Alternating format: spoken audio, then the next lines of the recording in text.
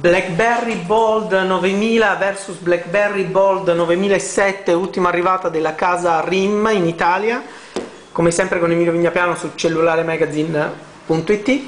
Prima di tutto dimensioni dei due contendenti, 114 x 66 x 14,2 mm per 144 grammi per il vecchio modello di Bold, più grande naturalmente del nuovo, per il nuovo abbiamo invece 109 x 60 x 14,1 mm 122 grammi. Differenza di peso non si sente tantissimo in mano perché la superficie di impugnatura del vecchio modello permette di distribuire meglio il peso. Infatti il vecchio sembra più pesante, ma in verità non lo è. Le dimensioni però si sentono purtroppo nella tastiera, come potete vedere, una volta messi uno sull'altro, praticamente una fila scompare di tasti, quindi hanno dovuto comprimere le dimensioni.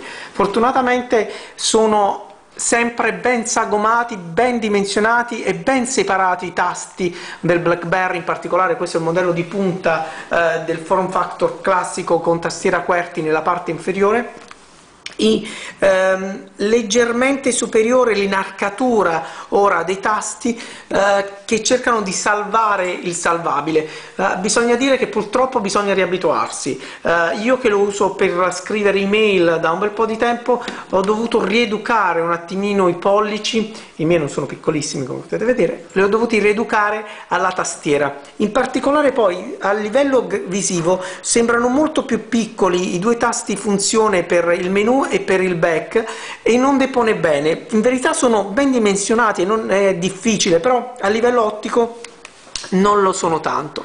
L'ultima fila di tasti è veramente piccina, in particolare lo 0 è quel tasto che ne soffre di più, oltre al eh, tasto Sims per le funzioni, però lo 0 nella digitazione dei numeri ne soffre perché è veramente sottodimensionato anche rispetto a questi tasti che sono più piccoli.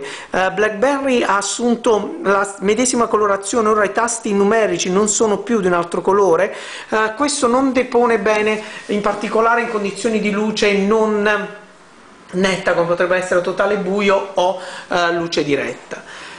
Schermi diversi e diverse risoluzioni, invece infatti nel vecchio modello abbiamo 2,75 pollici per 480 x 320 pixel, ehm, la differenza si vede in particolare in larghezza, eh, però il nuovo modello nonostante sia da 2,44 pollici ha ben una risoluzione di 480 x 360 introduce quindi BlackBerry una nuova risoluzione su schermi così piccoli. Infatti come potete vedere proprio ad occhio ok cercando di mettere gli schermi il più allineati possibili potete vedere che quello nuovo sembra un poco poco più lungo. Questa è una cosa abbastanza ottica però la risoluzione è quello che fa la differenza e fa sembrare questa cosa tale. Sistema operativo è praticamente lo stesso perché anche il Bold ha ricevuto l'aggiornamento al 5.0, quindi potete vedere le icone eh, uguali, non solo, non sono più separate ehm, graficamente in, nel desktop. Premendo il tasto funzione abbiamo praticamente lo stesso menu, il nuovo schermo è più brillante e si vede, Altra differenza eh, che salta subito all'occhio è l'assenza del perla o come veniva definita Pearl su alcuni modelli quando è uscito l'8110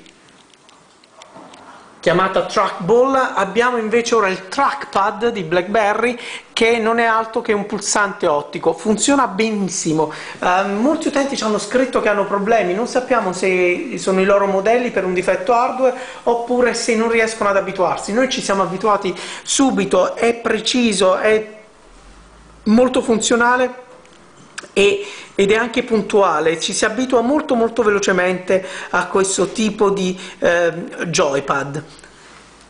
Lato destro troviamo bilanciere del volume su ambedue i modelli, però come potete vedere è molto più integrato a livello di look e risalta molto di più perché sono ben sagomati i tasti, tasto funzione, rimane la possibilità di utilizzare dei dock per ricaricare, quindi di tenere il telefono in posizione verticale e non utilizzare la porta per ricaricare il modello, uh, finiture sembrano un pochino superiori sul nuovo modello, però purtroppo va visto poi in condizioni di utilizzo quanto si graffia.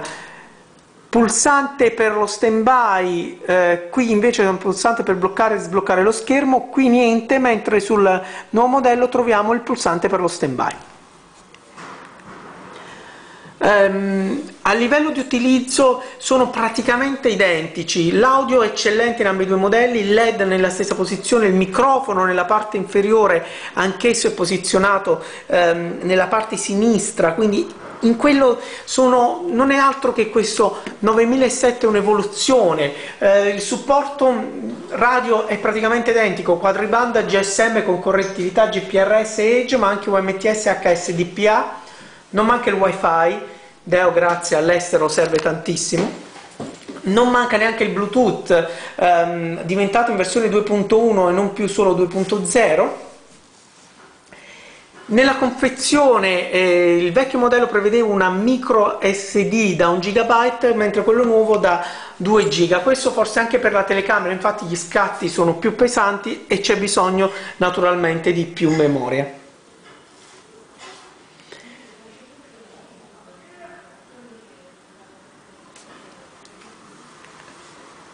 Ambedue i modelli sono commercializzati in Italia a un prezzo simile, infatti per il vecchio modello si parla di 469 euro, bisogna però dire che si trova facilmente a 400 euro, mentre per il nuovo modello è 499 euro.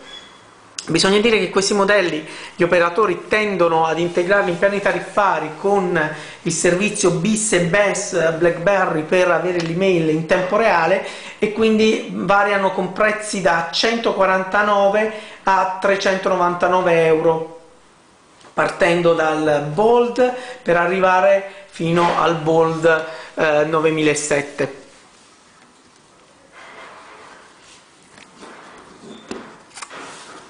È tutto. Per cellularemagazine.it Emilio Vignapiano con il BlackBerry Bold 9000 vs BlackBerry Bold 9007.